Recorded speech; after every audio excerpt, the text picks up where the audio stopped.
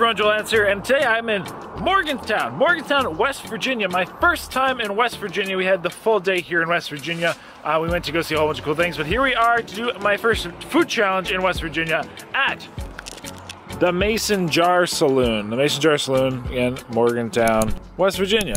So for the challenge here, it's called the Jar Burger Challenge. So you have a six patty burger. Um, it is three pounds of beef, so six half pound patties. Then you have a whole bunch of bacon. You have multiple layers of cheese.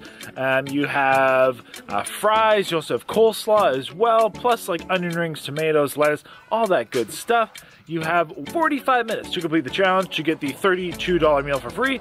Um, and you also get a sweet t-shirt if you win. So, of course, we're talking free meal, and if not, $32 and hopefully free t-shirt as well. it has been a long, long, long day. This is actually like 10 something. It's almost 11 p.m. Let's head on in, have some fun, eat some food. I will say, so actually I already was, I was already inside. Um, I tried to do two. I asked to do two if I could double the challenge, and unfortunately they uh, ran out of beef. Like they don't have enough to do two at the moment because like I said, it's super late. They are about to close. So anyway, let's have some fun, eat food. Let's get eating.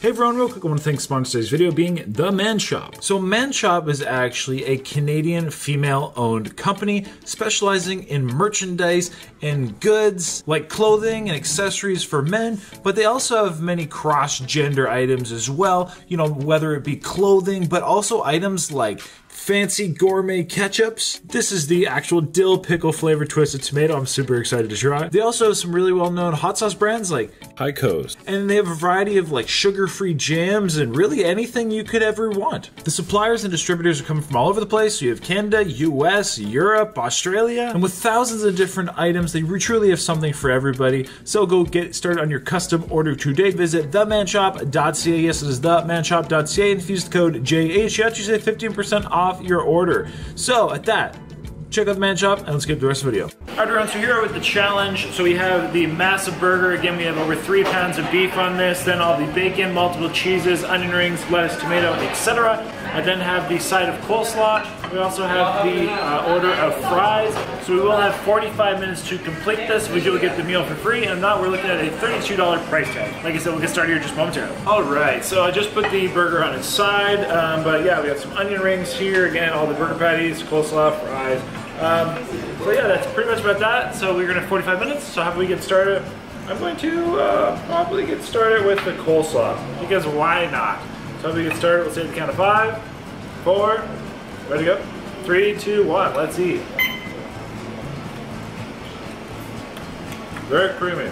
Hey everyone, welcome to this video. Today we're here at the Mason Jar in Morgantown, West Virginia. So here, um, as I was in West Virginia for my first time, I wanted to try to get a food challenge win in the state. Whenever I visit a new state, if possible, I like to kind of try to food challenge, hopefully get a win in the uh, state, and that's what obviously we were hoping for today. And they said they've had about three winners in the last two years. All right, coleslaw was good. They said getting these burgers, ooh, they are very, very hot, nice and steaming hot.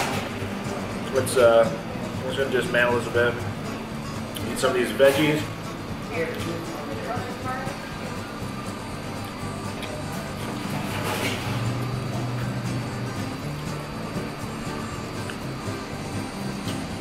Of course,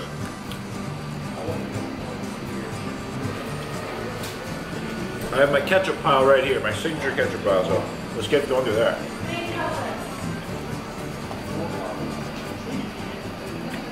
Good burger. So I actually had a very hard time finding food challenges in West Virginia. Um, you know, by my normal means of scouting, there were very limited options. Um, there was uh, like maybe like two or three other options. One being a hot dog challenge, hillbilly hot dog challenge. I believe was on Man vs. Food, but it was way out in the middle of nowhere. Um, then there was uh, a, a, restaurant which had like an ice cream challenge, um, but they were closed for the week we were in West Virginia. Um, so luckily, I did find this burger challenge, and it was not at all far um, from where we were going.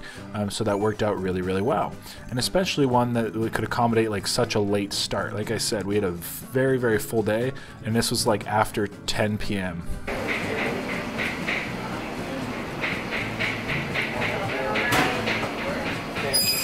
So the burger itself is pretty straightforward challenge. 45 minutes, six patty burger, fries, coleslaw. Finish it, you get it for free, and a sweet T-shirt. I think we're like just over two, two minutes, two some minutes out. Solid burger, in place. I have uh, three of the patties down.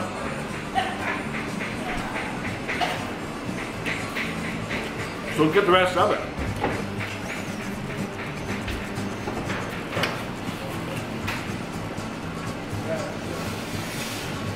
Lots of bacon as well. Looks very delicious.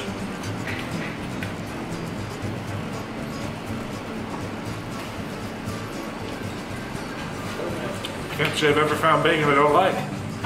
With the $32 buy-in, I think it's very reasonably priced. I think it encourages individuals to try it, um, and really like the one thing I do really appreciate is they were very honest and very transparent for what you got, right? So they said, you know, exactly that. It was a six patty burger, bacon, cheese, you know, the veggies, etc., with a side of fries, which they said was just like a normal side of fries, and that was definitely just a normal side of fries. Same as the side of coleslaw. It's not like they were trying to, you know, make this bigger than it should have been or beef it up at all. They were just very honest and transparent, which I definitely appreciate. Um, I myself did try to double it, but again, um, they didn't have like any more beef uh, patties prepared or beef on hand or not frozen um, to do so. Um, but they would have let me double it otherwise. So, you know, I did try. Now, um, with this challenge, again, there had been about, I think it was three winners in the last uh, two years, and for attempts, it didn't sound like there was too too many attempts. Maybe by the sounds of it, you know, let's say 20, maybe 30 attempts in the last couple years. So, you know, even if there was 30 attempts and you had three winners, that's about a 10% success rate. So actually, that's pretty pretty reasonable to be honest. Um, and I think it is a pretty reasonable challenge. Whereas again, it kind of the beginner intermediate, uh, I think it's a good way to start. About four minutes in, nice soggy, juicy bottom bun. They did say the previous record was about 14 minutes, if I definitely be sure to check out the end of the video where you have lots of footage from West Virginia. West Virginia, I will say, was absolutely beautiful. Um, so if you've ever been to West Virginia, comment down below. Let me know what you thought of it. And uh, where did you go? Because we got like, we went to caves and mountains and it was crazy, absolutely crazy. So definitely check out the end of the video where we uh, have a lot of that footage. Um, but I believe that's pretty much all the information I have for you today. I'll let you get to the rest of the uh, video. Um, hopefully we can get this win, and my which would be my first win in the state of uh, West Virginia. Buns, bacon, onions, and fries.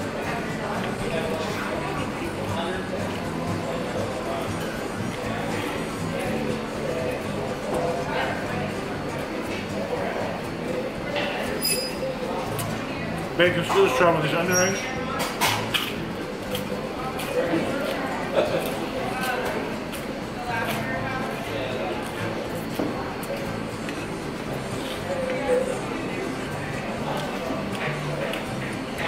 Nice and crispy. And by the way, if you liked the video so far, please hit that like button down below and consider subscribing if you already haven't. It's completely free and it helps the channel grow, and that way you don't miss an upload and I can continue to bring you the best content possible. But at that, like I said, let's get to the rest of the video.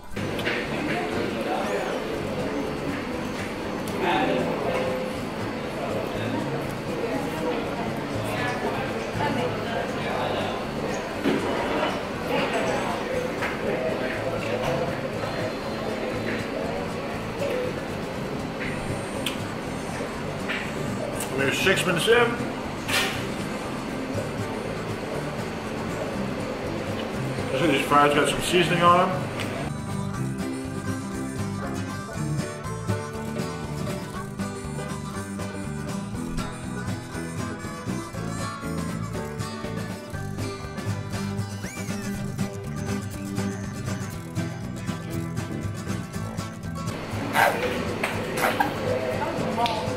Personally, I was just looking for an excuse to eat ketchup, so.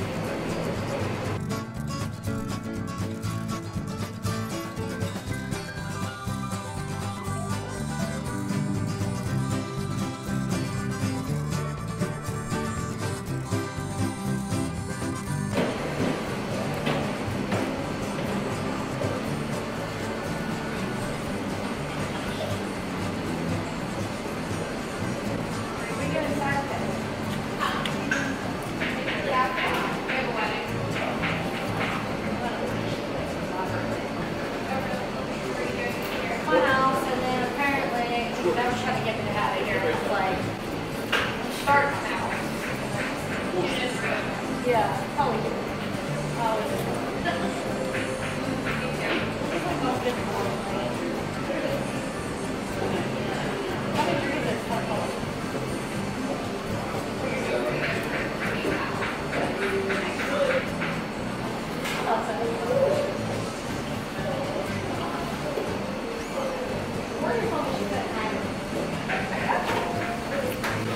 We are done. Awesome. Somewhere about, uh, I think, 7, maybe 7.45, 7.46? I think we're at about seven, seven minutes, 46 seconds, I believe. Um, so very delicious. Did enjoy the challenge. Uh, so we do get the meal for free. I believe we might also get a t-shirt. We get a t-shirt as well. So we also get a t-shirt, which is pretty cool. Um, but yeah, really cool to finally do my first kind of challenge in West Virginia.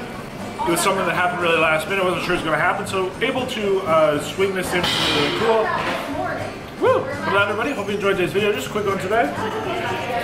But yeah, if you're in the area, I think it's a very reasonable challenge. Uh, it a very, uh, let's say, affordable price tag, a buy-in price, and I think this is a challenge that, again, like, you know, being beginner intermediate could kind of get on in. But yeah, definitely enjoyed it. No complaints. Um, so that's what that, everybody. Hope you enjoyed. Of course, the next something happy, I was hungry, happy eating. Lots and lots of cool footage about West Virginia. West Virginia is freaking beautiful, and I have to give a huge shout out to the state. Really cool. What is it? Wild and wonderful. Wild and wonderful. So that, everybody. So uh, next time, just that's it. It's after 11 p.m. now. It's, it's very, very late. It's been a long day, and uh, thought I hope you, I hope you have a good night, or good morning, or good day, wherever you are. Till next time, goodbye.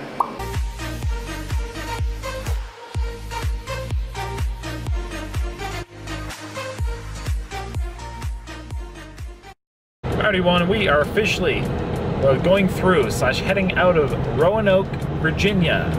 So now I'm heading north two miles, out of Roanoke because we're in the south. I can drink a Newcastle. Coke. Uh, yeah, so we're gonna go see some mountains and all these things. Got going to a place called the Seneca Caverns. Looks really cool. Kind of reminds me of what Mammoth Cave is in Kentucky, if you're not familiar.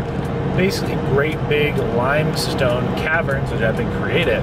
But I will say, I always knew that Virginia and West Virginia, like this area of Virginia and Oregon, West Virginia, is known for like mountains and green. And boy, oh boy, do we ever have like thick, thick, lush greenery. We have these great big, uh, kind of see behind the trees now, these great big mountain thingy things. There you go, right there. Great big top mountain tree mountains. Um, so yeah, we're looking forward to greenery, sights, Look, there's Lynchburg, Lynchburg, Virginia sign, and uh, hopefully some awesome caverns. So again, just an exuberant amount of greenery. We have these great big mountains here in West Virginia guiding our trail. We have a very like kind of nice uh, windy road through a double-sided forest. It's pretty impressive to be honest. Um, we kind of just went through a beautiful, beautiful patch of like again fully enclosed greenery. Let's see if we get to one here again, and if not, just look at the mountains. Look at these hills, the hillsides. And like I said, the most interesting thing I find is, you know, with these mountains and the hills, etc., whatever we're going to call them, is they're not just like, you know, white peaks or just rocks. Like, holy cow, look at that. Look at that one. That is impressive, and the camera does not do that justice. But they are all fully green. They are fully, fully, fully green, covered up mountains, which is absolutely impressive. So, again, West Virginia, both the actual, you know, state and right now being in the state of Virginia, just on the western side, has a lot of green. Very beautiful, at least this time of year. And we are officially about to enter West Virginia. So this has been Virginia, but of course the Western Virginia so far. Again, here's kind of of these trade routes that we we're talking about. Just absolutely crazy, gorgeous scenery. Very, very, very green. Um, I mean, that's again what I knew, at least West Virginia and Western Virginia were known for. And there's no shortage of green space out here. Lots of water along the side of the road as well, which is pretty cool. Um, yeah, and we will continue. There's some right there, you can't see it. There's the brush. Uh, we'll continue to get on our way. All right, everyone. Here we are in what is Riverton, West Virginia, about to enter what is the Seneca Caves. So Seneca Caves, um, a big cave system, uh, history dating back to the Seneca people, and we'll hopefully find some more info out about it. All right, how's everybody doing this afternoon? Good, thanks. Welcome to Seneca Caverns. My name's Pat. I'll be your tour guide for roughly the next 45 minutes and three quarters of a month. Is this anybody's first time in a cave? Yes. All right, we'll cover a few safety things first. While we're in the cavern today, please keep your hard hats on at all times. There will be some low stones. Feel free to take as many pictures as you want to. We do ask that you don't take video, though. The reason that we have a consistent source of water for his livestock and his family, he knew he had a cave on a property. He knew most caves in West Virginia have water. Now, when they originally entered, they would have entered through this side of the opening over here. Then they came down this little bit of a mud bank, right out into this area where they made a 90 degree turn, and then went directly underneath where we're standing. When we get downstairs, I'll be able to show you where that pathway came out of. Then in 1927, the last male member of the Teeter family had passed away, and the farm transferred to the Harmon family, which was the wife's family. And they're the ones that did the commercialization process. That took roughly three years for them to accomplish. Put the electrical system in, the pathway in, and the bridge at the back of the cave. Then on Labor Day weekend, 1930, we gave our first commercial cave tour. And we've been doing steady and consistent tours ever since then. Now, as we come through today, you'll have to use a little bit of imagination when I show you different formations and give you the names. Can everybody do that? Yeah. All right. Now the boring stuff's out of the way. Y'all ready to see some formations? Yeah. All right, it's going to be a long walk to the first one. Everybody ready? Yes. Okay. I will get you all to follow me. This formation is not only the largest in the cave, it's also the oldest. It's been dated at 4.5 million years old. One of the interesting things about the Dutch oven is, if you look back here behind it as you come by, you'll notice that it's hollow inside. So if I were to stand right here and drop something straight down, we'd be able to pick it up as soon as we got downstairs in the middle of the pathway. Wow. Now, does anybody have a cell phone with a light-proof case they'd like to test today? They say they're virtually indestructible. I have put something right here for you. We can test it all day. Anybody? Nobody. Don't carry one. Now, is this about case? The next room I'll be showing you is our grand ballroom, and our grand ballroom is the second Wow. largest room in the cave.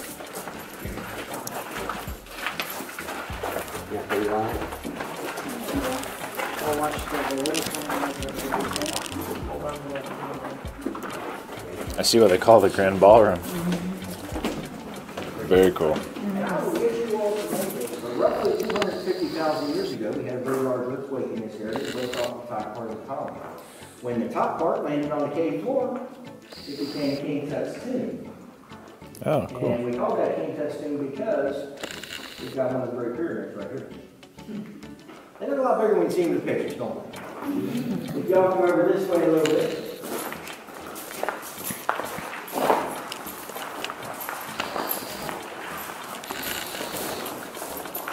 Back on the back wall, we have Jaws. Now, Oh, Jaws Jaws. isn't just hanging out on the wall, he's actually jumping up to the ceiling right there to get one of our upside down chickens. After the wedding ceremony, Rock Oak and Snowbird came over to our balcony, and to prove their love for each other, they jumped off. Now, when they would have made their jump, they would have been jumping into a large pool of water down here that came about to this level. We know there was a large pool of water because if you look on the ceiling, you'll see stalactites, but we don't have on the bottom are any stalagmites. Hmm. And then up here in our waterfall room, on the left-hand side, we have our candlestick formation. And we're just a little bit late taking down our Halloween decorations. We still have a Halloween mask up right there. Yeah. Then over on the top of Candy Mountain, we have our bald eagle perched. And our bald eagle is actually looking up towards the ceiling where there's a large fish market right above his head. We've also got the Capitol Dome right there. Excuse me. Slide around right behind. This is cool. Looks like uh, maybe it is. Maybe it's like a tunnel or a passageway. And bricks. I guess. I don't know. Bricks. I guess stacked rocks. And in the 1920s, our fruit chimney was actually used as a root cellar to store food. Wow. The original pathway that went underneath our feet upstairs came out right behind this wall. So there would have been a 30 foot ladder between here and the top of the ground. Just imagine every time you went to the fridge, you had a 30 foot ladder. I'd make a few less trips, I know that. Now, the rock walls are made out of material that was removed from the Dutch oven upstairs when they put the pathway through. Ah. It's a lot easier to bring material back down into a cave and then repurpose it than it is to haul everything back up out. And this wall also helps to support the balcony that we were standing on upstairs. Hmm. Now, the formations I'm going to show you in this section are food related. If I can get everybody to slide over to this side so you can see this wall right there.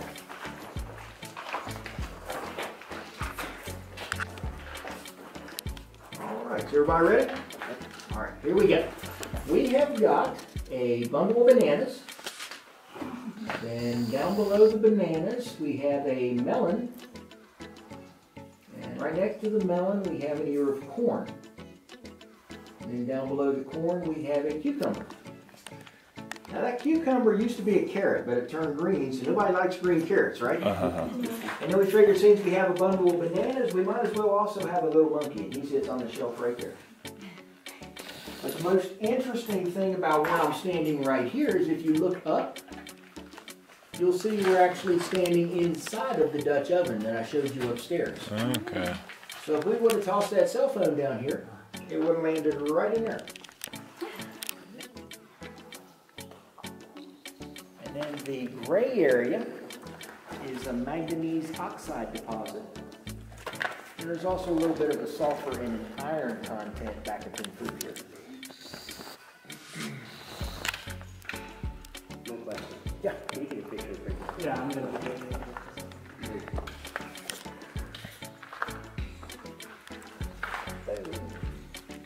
Better with the light or without the light? Probably with the. The largest piece that we have today, I just thought to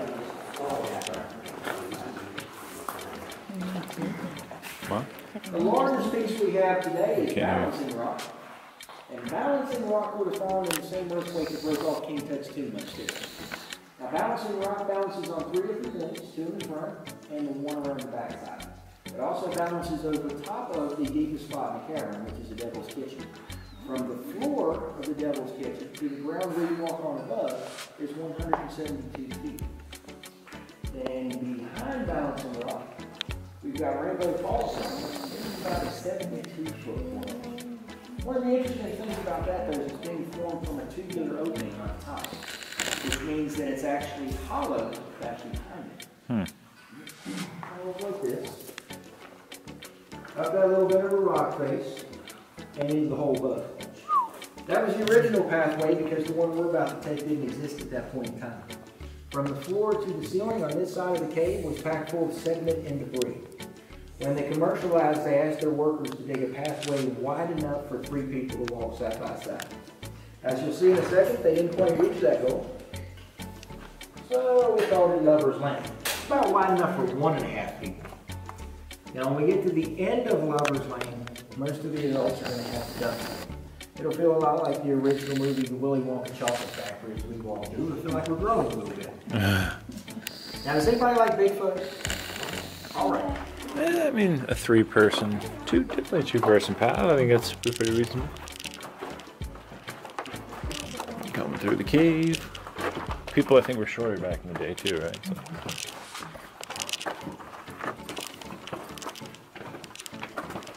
A duck.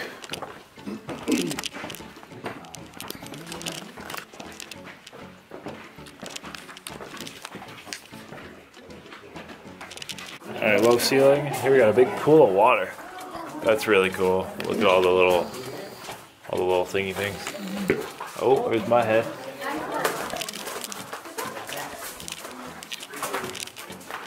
Super, super cool. You want good luck? The area is called Fairyland. Now, inside of Fairyland, we have a few different types of stalactites. The large ones in the front are called organ pipes, and they're hollow inside. So if we were to knock on the outside of them with a metal object, it'd make the same sound as a gong. Then up in the ceiling, we have some soda straws. They're another hollow formation. They get to be about the thickness of a pencil. A lot of times, by the time they get to 12 or 14 inches long, they can actually break off under their own weight. Now, if you notice on the ceiling right here, you'll see some of the soda straws have a white tip on the end of them. What that white tip is, is the amount of new growth since 1930 when the cave was federally protected. Before that oh. point in time, they actually allowed people to break the soda straws off and take them home as souvenirs. Hmm. Now, if you all will continue to look into Fairyland, I'll turn some Christmas lights on for everybody.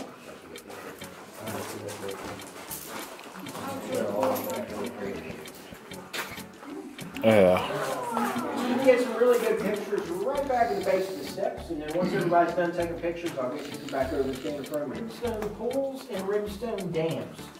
And the way they form is water dripping down from the ceiling into a pool of water creates a splash and a ripple. And that ripple carries the sediment that's on the water all the way to the edge of the pool where it accumulates, building up rimstone dams. A lot of times rimstone dams can actually start to encapsulate the pool of water itself.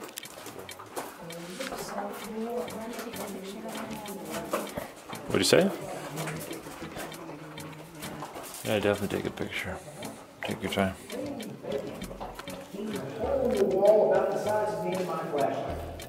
And that goes down roughly 250 feet. Now, in 1994, we eye tested the water going into it to see where it came out.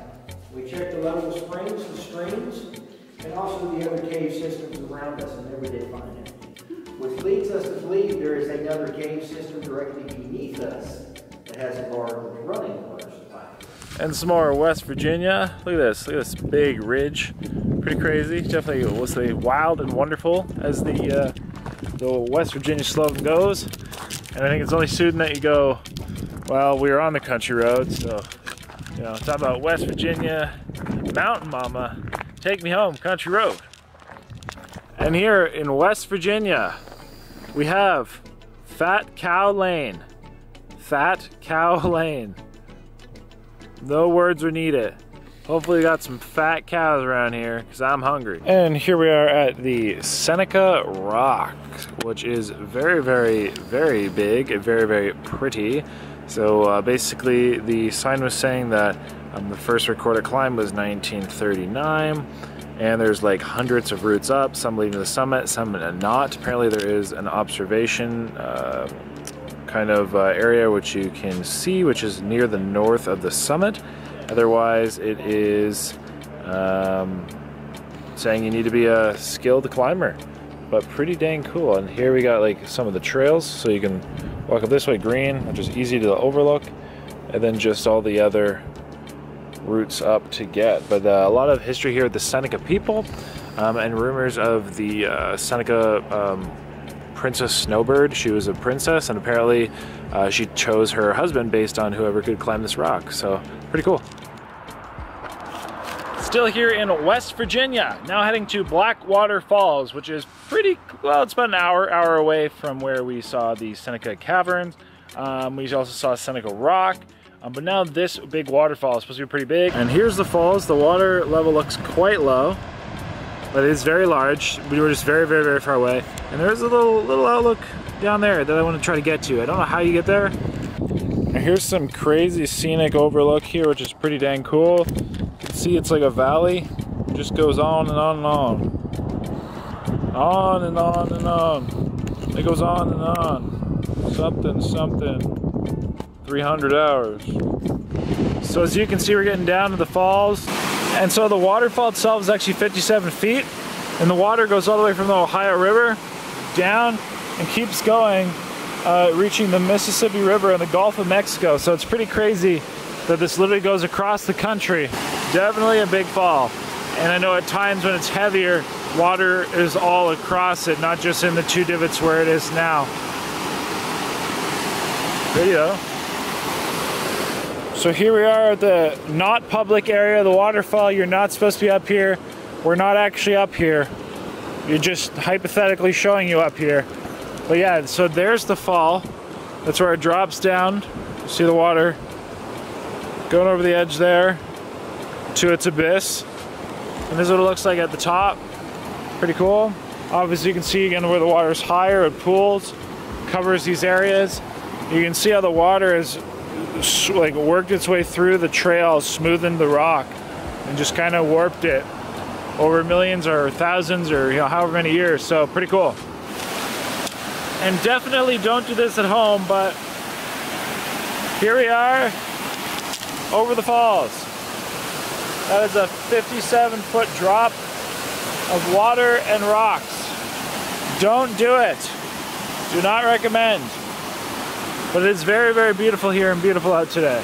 Another crazy view of West Virginia countryside. Again, we're up on a cliff. We're up over there at that lookout right over there. That's where we we uh, were at that lookout earlier. Now we're here at this lookout, which is absolutely insane. Again, something camera does not do justice just how big and vast and wild and wonderful this is. And here is the Lindy Point observation deck. This, I think, is the most substantial view, craziest view we've seen all day. Like, there's the water way down there. Again, here in a beautiful mountain ridge. It is just absolutely extravagant. Hopefully, the camera captures some of this. This is definitely a thing which it is just not like a, a video does not encapsulate this, nor does a photo.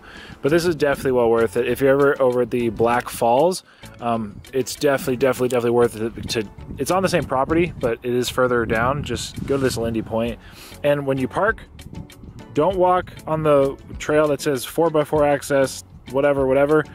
We walked about 20 minutes that way. It doesn't go. It's the trail is literally right here, right by the parking. So, learn from our mistake. But look at this gorgeous, gorgeous, gorgeous, crazy, crazy view. Beautiful, and it's it's not quite sunset, but it's beautiful. And here we are, over the ridge. Again, don't do this at home. But here we are, looking down. Definitely a bit of a drop. Uh, I would not want to get too, too, too close to the edge, but it is very, very, very beautiful. Very, very, very scenic out here.